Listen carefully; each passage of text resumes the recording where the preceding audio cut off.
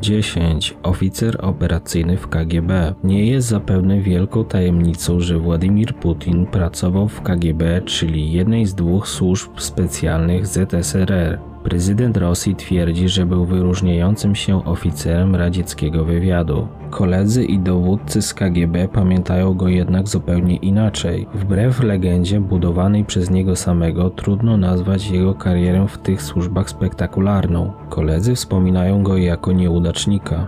Czym się zajmował, co robił przed wyjazdem do NRD, on sam nigdy nie zdradził szczegółów, ale my znamy je z relacji innych osób. Dawny leningradzki dysydent Jurij Rybakow informował, że wtedy student Władimir Putin znany był na mieście jako aktywny członek oddziału operacyjnego, zajmującego się m.in. pobiciami opozycjonistów. Za wersją Rybakowa przemawia fakt, że młody Wołodia był wyróżniającym się zawodnikiem